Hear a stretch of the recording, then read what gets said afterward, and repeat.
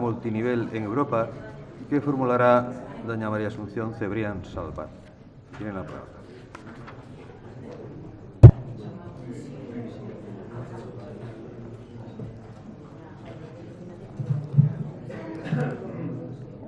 Muchas gracias, señor presidente.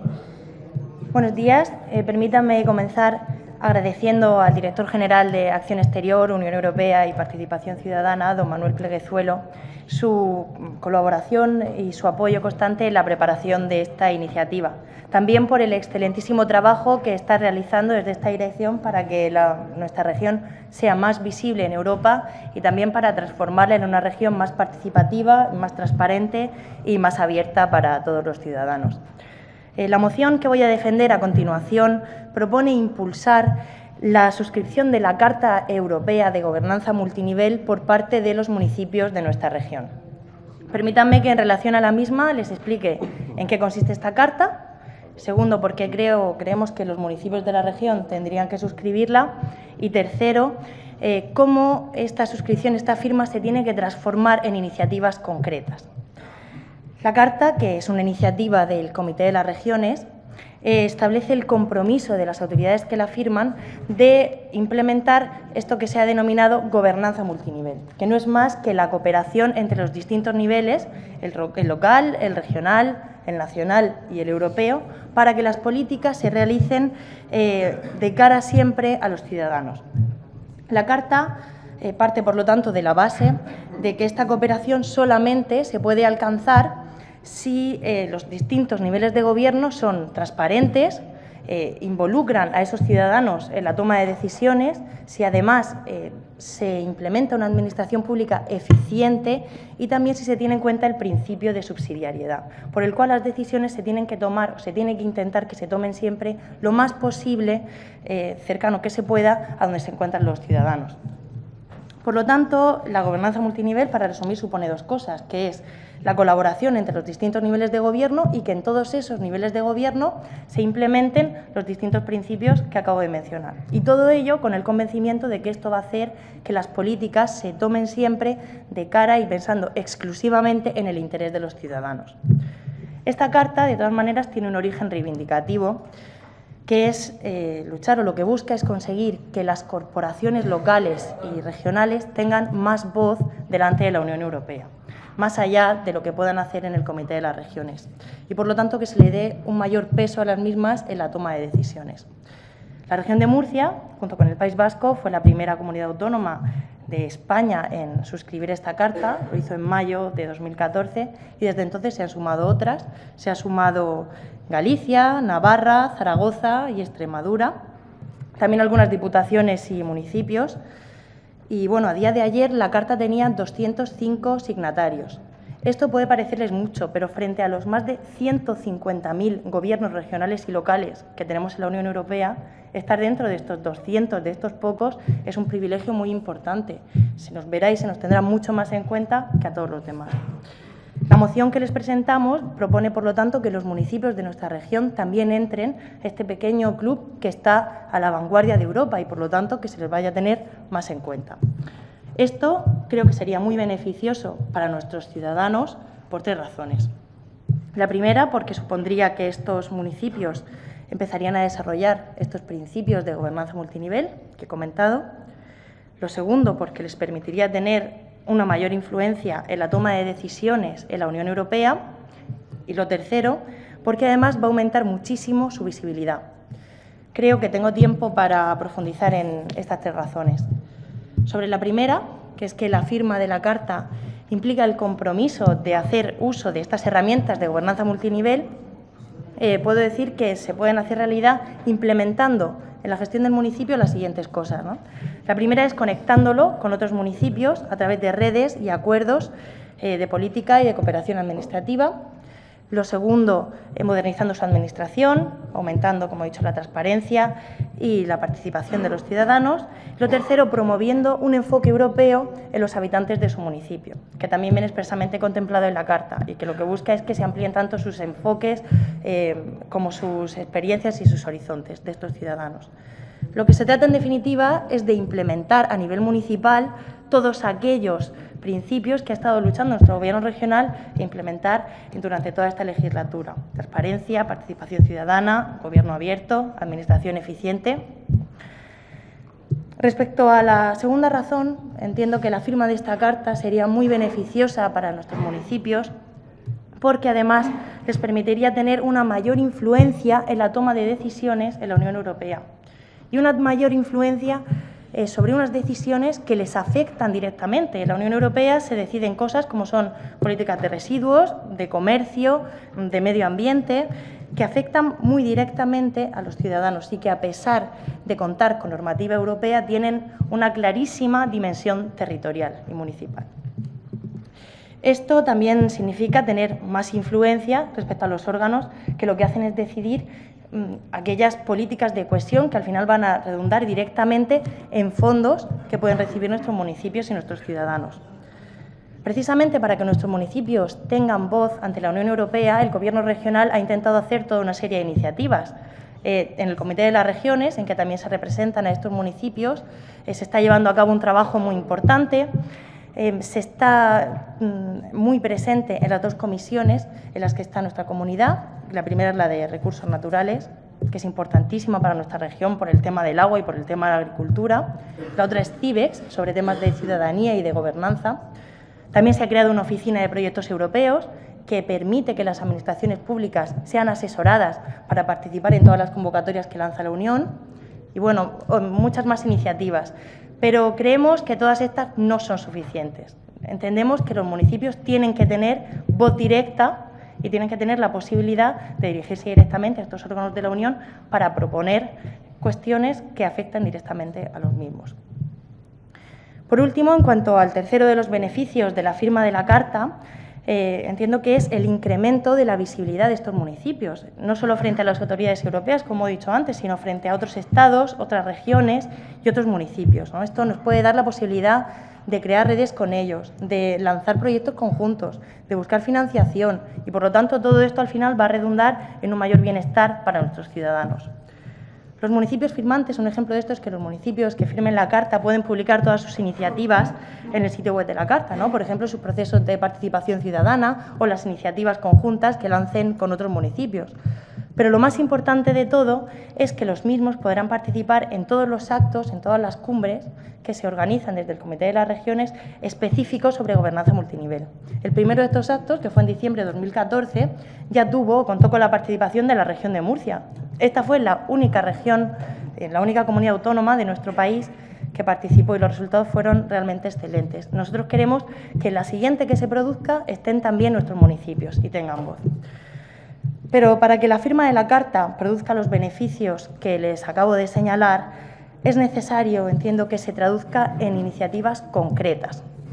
No vale solamente con que sea una declaración de principios. Eh, la firma, como digo, de esta carta tiene que traducirse en políticas reales, al igual que también se ha traducido su firma en políticas reales por parte de la comunidad autónoma. ¿Qué pueden hacer nuestros municipios para tratar de aplicar esta gobernanza multinivel? Lo primero que tendrían que hacer es suscribirse a la iniciativa del municipio transparente. Hasta el momento, esta iniciativa solamente ha sido suscrita por el municipio de Molina de Segura. Eh, la misma lo que permite es eh, que estos municipios se adhieran a la iniciativa integral de transparencia que ha propuesto la comunidad autónoma. Por lo tanto, que se publique toda la información que publica la misma. Información sobre cargos electos, sobre sus patrimonios, contratos, subvenciones, eh, normativa municipal, etcétera. Para ello, la región ha puesto además a disposición eh, de todos sus municipios su portal de transparencia para que cuelguen toda esa información sin ningún tipo de coste y para que esté accesible a todos los ciudadanos. Pero no nos podemos quedar en la transparencia, hay que seguir. En relación a la participación ciudadana, eh, tendría también que elaborarse en los, aquellos municipios que no cuenten con ello un reglamento municipal de participación ciudadana que recoja estas formas de participación. Una vez que esté esto hecho, también la región puede poner al servicio de los municipios su portal de participación para que ellos cuelguen las, consultas y aquellas encuestas que vayan realizando. Además de lo anterior, los municipios también podrían hacer real esa colaboración con otras administraciones públicas, por ejemplo, eh, volcando sus datos en el portal de Open Data, de manera que todas las demás administraciones tengan acceso a los datos de sus municipios y se, faciliten así las gestiones de los ciudadanos. En resumen, y ya para terminar, entendemos que la firma de esta carta sería, por lo tanto, muy beneficiosa para los municipios de nuestra región y ello por las tres razones que he intentado explicarles. La primera es porque supondría sumarse a las iniciativas de transparencia, de participación y de gobierno abierto, que es una de las líneas de actuación preferentes de nuestro gobierno regional esta legislatura. Lo segundo es porque supondría tener vía directa con esas autoridades europeas y supondría la posibilidad real de influir sobre unas políticas que los municipios tienen que aplicar directamente. Lo tercero, porque supondría tener una mayor visibilidad frente a otras autoridades regionales, locales, estatales, con todos los beneficios que aquello supondría. Firmar esta carta abriría también una plataforma de intercambio de ideas con otros municipios, eh, la posibilidad de intercambiar buenas prácticas y proyectos innovadores, así como de buscar socios potenciales para llevar esos proyectos a cabo. Es por todo lo anterior que proponemos a esta Asamblea que apruebe, que se inste al Consejo Regional para que estudie, junto a la Federación de Municipios, la firma de la Carta por parte de los mismos. Muchas gracias.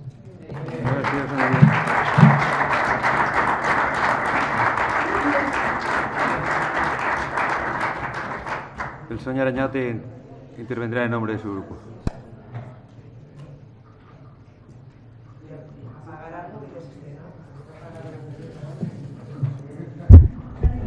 Gracias, presidente. Señora Cebrián, esta es su primera y quizá última intervención de esta legislatura. Es también la última mía de cualquier legislatura. Yo quiero, quiero empezar eh, felicitándola por su intervención. Eh, yo venía convencido de la importancia que tiene la incorporación de los municipios a la gobernanza pero tengo que decirle que si no lo estuviera de antemano, sus argumentos habrían sido suficientes para votar a favor como vamos a votar. Complementaré lo que usted ha dicho con algunas razones más. Primero, porque hoy más que nunca la Unión Europea es una necesidad imperiosa.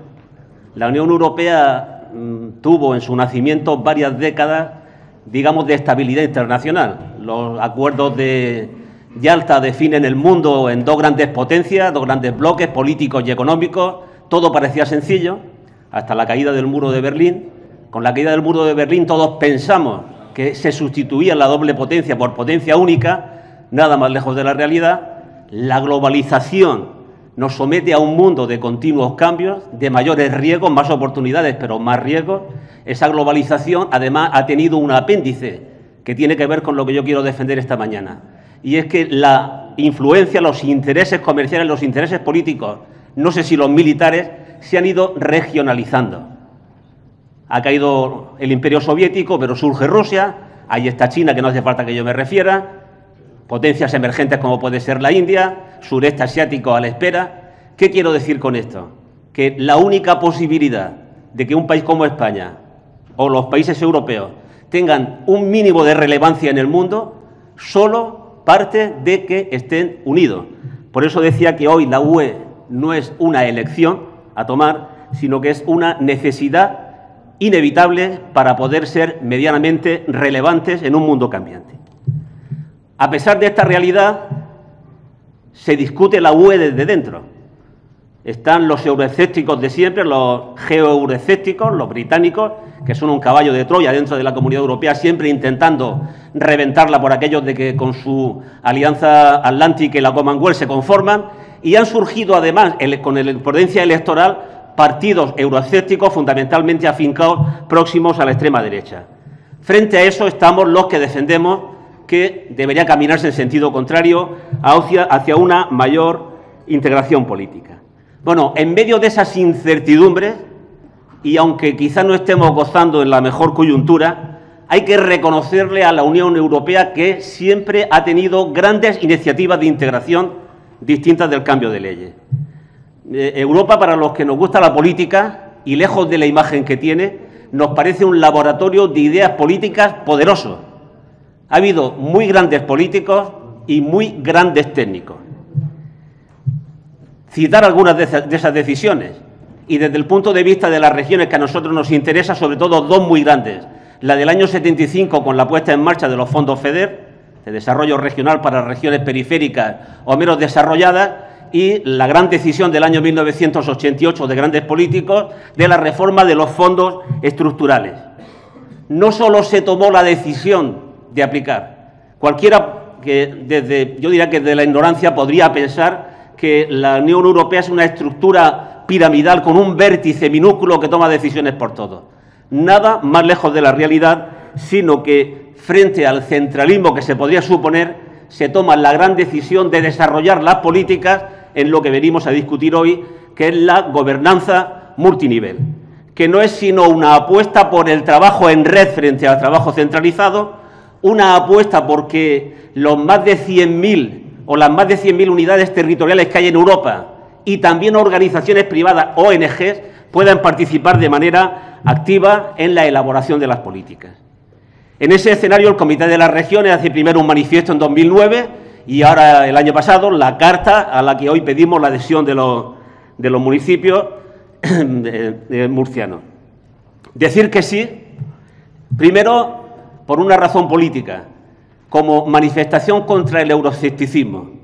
Yo hablaba antes de China, de Rusia, de Estados Unidos, no, no, no nos parecemos a ellos, fundamentalmente en que ellos tienen algo que les une, lengua, una identidad lejana. Europa es una formación multicultural, en fin, muchos países, muchas regiones. Solo la podremos fortalecer si todas las instituciones tomamos conciencia de apoyar esa realidad. Y por tanto, el primer motivo de invitar a los ayuntamientos a que se sumen es por razón de amor a Europa. Pero no solo de amor, también por interés. Usted lo ha explicado bien, lo que se quiere en Europa y lo que habría que hacer entender a nuestros alcaldes es que Bruselas y Estrasburgo, si se quiere, están a mucho menos de 2.500 kilómetros. Bruselas es una realidad flexible y, si quieren, se puede participar en la elaboración de las políticas y, además, en Europa, usted lo ha dicho, el principio de subsidiariedad lo que deja es la posibilidad a los municipios de gestionarlas y de obtener beneficios.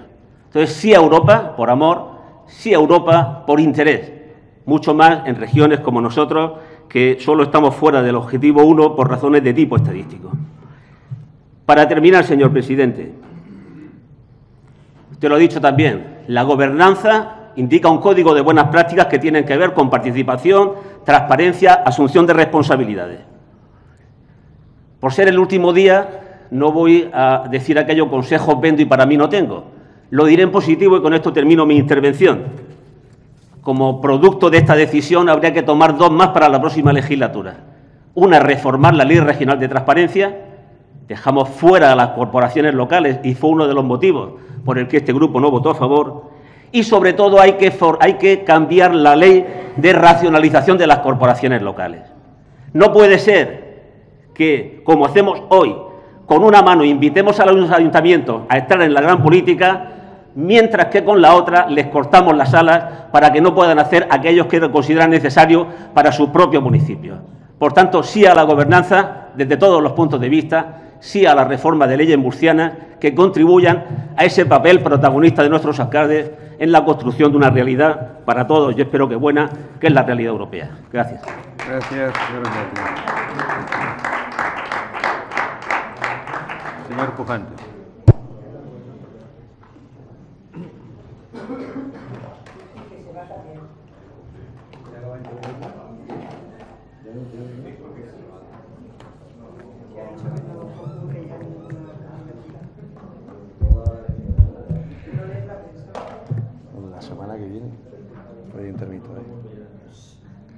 Bueno, señorías,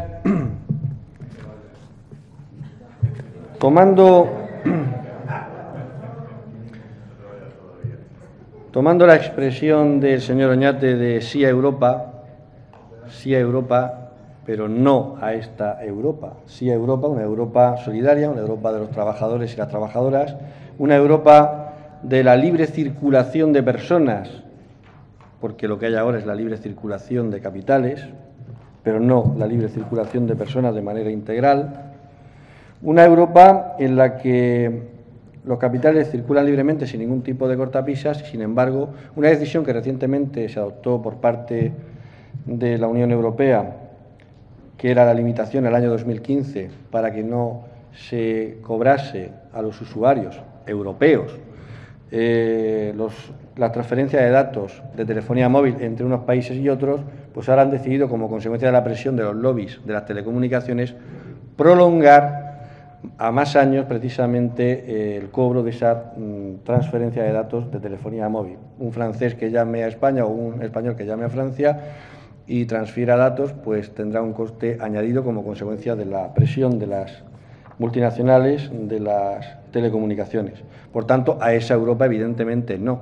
A la Europa del Tratado de Maastricht, que nos ha traído la situación de desequilibrio y de crisis económica y de deflación de la Unión Europea actual, no.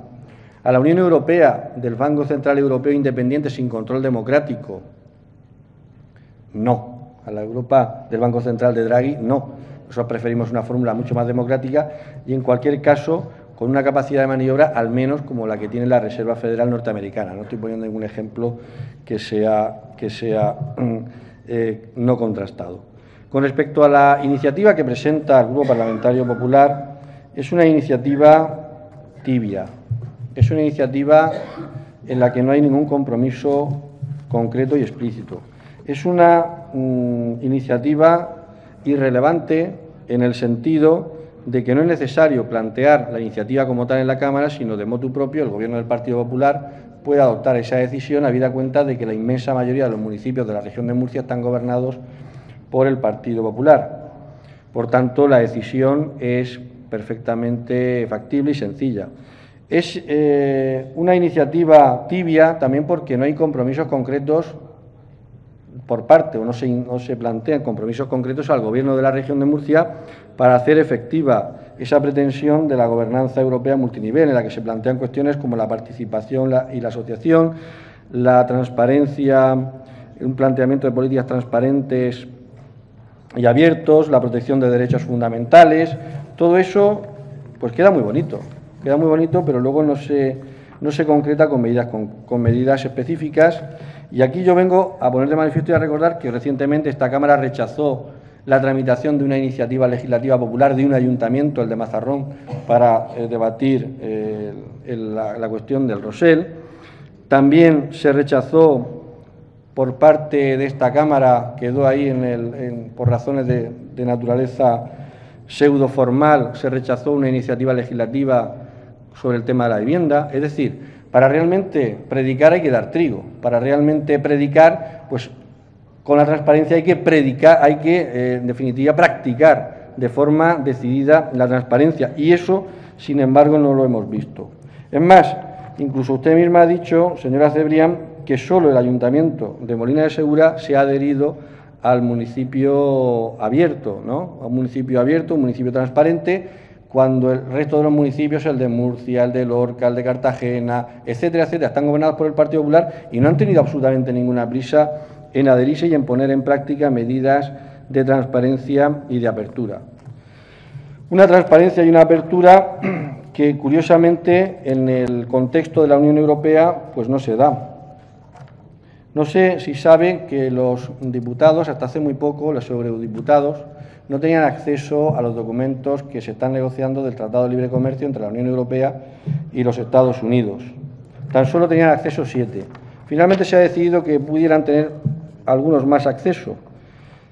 Pero eso sí, después de pedir cita, indicar exactamente qué documentos desean consultar. Estamos hablando de representantes del pueblo europeo elegidos democráticamente. Durante un periodo máximo de dos horas por visita y sin poder contar una sola palabra de lo que vean, bajo la amenaza de sufrir sanciones administrativas y exponiéndose incluso a afrontar un proceso penal. Esa es la transparencia de la Unión Europea en torno al Tratado de Libre Comercio que, de firmarse, enormes perjuicios puede causar a la economía y a la sociedad europea en su conjunto, también a la, propia región de Murcia. Algo tan trascendental, tan importante como el Tratado de Libre Comercio y, sin embargo, se instala una opacidad, una opacidad tremenda.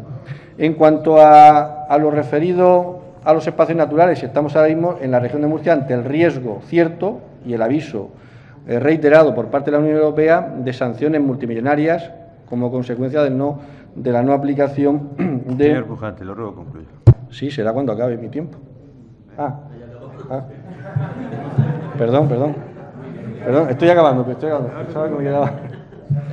Bueno, en conclusión, eh, me parece, nos parece una declaración de intenciones que entran dentro de, en fin, de la, de la en fin, del pensamiento del buenismo, pero que si no hay un compromiso concreto a nosotros, pues no, sinceramente no nos sirve. Por eso vamos a votar abstención. Muchas gracias. Gracias, señor Pujante. Señora Cebrián, tiene la palabra.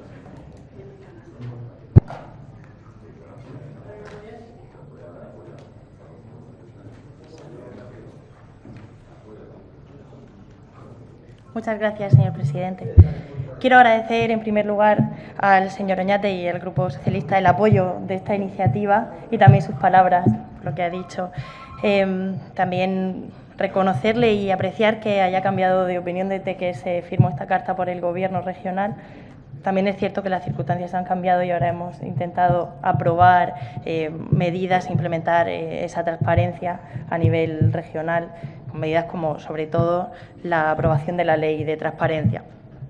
Eh, por eso mmm, quería felicitarles y también eh, indicarles que, aunque supongo que lo sabrán, se suman a muchísimos eh, gobiernos y a muchísimos partidos, tanto municipales como regionales, del Partido Socialista Europeo que han apoyado esta carta. Cuando estaba preparando la intervención vi que la había apoyado, por ejemplo, Liverpool, donde gobierna el Partido Socialista, también Bolonia, también Hamburgo, todos ellos del, que pertenecen al Partido Socialista Europeo. Eh, por ello, nada, reiterar mis felicitaciones y además eh, indicarles que cuando queremos construir Europa y la Europa que todos queremos, es importante que estemos todos unidos y sobre todo si queremos que nuestros municipios y nuestra región tengan fuerza y unión eh, frente a las instituciones europeas. Respecto a lo que me comenta el señor Pujante, que no hay compromisos concretos, eh, en la medida de lo posible, yo he intentado en mi intervención ver cómo se podría traducir la firma de esta carta en esos compromisos. Es cierto que el gobierno, ni el Gobierno regional ni esta Cámara tiene competencia para incluir esos compromisos concretos, igual que tampoco la tenía para incluir a esos municipios dentro de la Ley de Transparencia, dentro de su ámbito de aplicación. Eh, hemos, vi hemos visto que se puede sumar estos municipios a la iniciativa de municipio transparente, eh, que se pueden aprobar reglamentos de participación ciudadana, eh, que se pueden volcar los datos en el portal regional de Open Data. Por eso no entiendo que tenga miedo a que la firma de esta carta se pueda quedar en papel mojado, ¿no? Eh, también tengo que decirles otra cosa, que es que se ha propuesto eh, por parte de los signatarios de la Carta en la última reunión que cada año se vayan dando cuentas al Comité de las Regiones sobre cómo se va implementando esta gobernanza multinivel, con lo cual también se van a exigir resultados. Eh,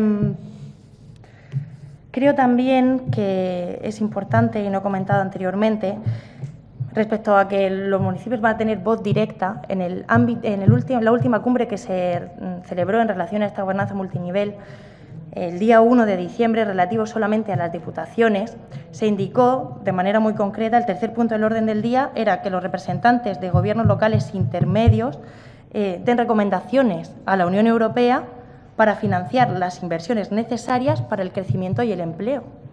A mí me parece una cosa muy directa y muy concreta. Yo quiero que eso lo hagan nuestros municipios la próxima vez que haya una reunión. Por último, creo mm, que respecto también al grupo mixto que, no apoyen esta iniciativa, entiendo que no tiene sentido. Ellos, y tal como han dicho aquí ahora mismo, eh, no creen en una Unión Europea como la que existe ahora mismo. ¿no? Todo lo que viene de esta Unión Europea, que para ellos es una especie de gigante que toma decisiones sobre cosas en las que no debería meterse, mmm, no quieren tener nada que ver con ella. Esta iniciativa, que precisamente lo que propone es desde la propia Unión un autocontrol, una fiscalización por parte de los municipios y de las regiones a esas instituciones europeas, creo que no apoyarla lo único que hace es que su discurso eh, pierda fuerza. Es simplemente mm, intentar que desde el nivel local y regional se escuche frente a esas autoridades. ¿no? Y creo que es algo en lo que tendríamos que estar los tres grupos parlamentarios de acuerdo. Eh, Nada más por último, y ya que estamos en las últimas sesiones y con este tomo amable, decirles que En realidad, parte de esta iniciativa de la gobernanza multinivel tuvo su origen en la presidencia española de la Unión Europea, que tuvo lugar bajo el gobierno del señor José Luis Rodríguez Zapatero, para que luego digan que solo decimos cosas malas de, de él. Y bueno, quisiera terminar con una frase que en realidad es eh, de Manuel Chávez, que dijo en la, agencia de Barce en la Agenda de Barcelona, que es cuando se tomó la decisión sobre esta carta, y que es que la gobernanza multinivel es la clave de bóveda para que la Unión Europea pueda responder a los retos globales a que debe hacer frente nuestra Unión en el siglo XXI. Y nada más. Gracias. Gracias, señoría.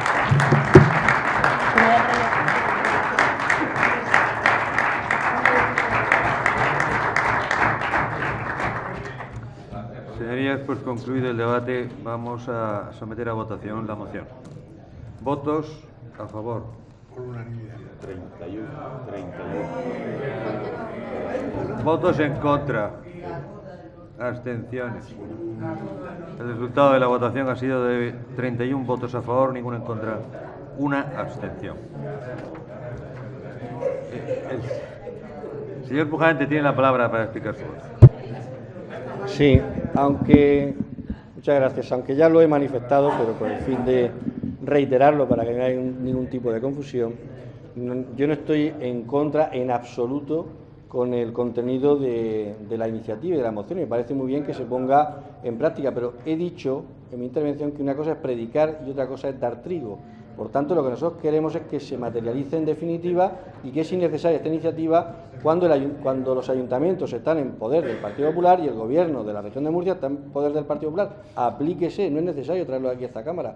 Llévese y, y ayúdese a que los ayuntamientos, en definitiva, puedan materializarlo con recursos y medios y ayuda de la comunidad autónoma de la región de Murcia, porque si no, quedará en eso, en una bonita declaración de intenciones donde todo el mundo se ha aplaudido y donde todo el mundo se ha sonreído, pero evidentemente eso no es suficiente. Por esa razón hemos votado abstención, pero que quede constancia que con el contenido estamos de acuerdo. Muchas gracias. Gracias, señor Pujante. ¿Alguno de los grupos, señor Oñate? Señorías, guarden el silencio. Este grupo ha votado a favor por una convicción absoluta que desde, que desde los municipios es uno de los sitios a los que hay que colocar un candado a los euroescépticos, a los que quieren romper con una unidad necesaria para todos. Y hemos votado a favor porque ya he dicho en la primera que no haber estado convencido, no habría convencido la intervención. Le tengo que decir a la portavoz del Partido Popular que en esta segunda incluso nos ha colmado. Muchas gracias. Gracias, señor Oñate. Señora Cebrián, ¿va a intervenir? Eh, muchas gracias. Hemos votado a favor porque queremos que los intereses de las administraciones locales de nuestra región tengan mucha más voz en Europa y también porque entendemos que mm, desde esta Asamblea Legislativa no tenemos la competencia directa para obligar a esos municipios a hacerlo. Por eso hemos traído aquí la iniciativa. Muchas gracias. Gracias. Siguiente punto del orden.